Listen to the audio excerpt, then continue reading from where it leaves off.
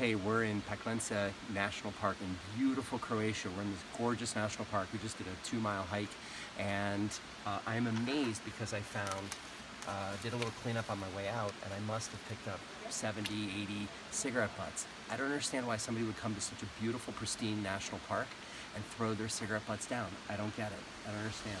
Take a look around. This beautiful place. It's gorgeous. We're coming down. Beautiful. Look at those mountains.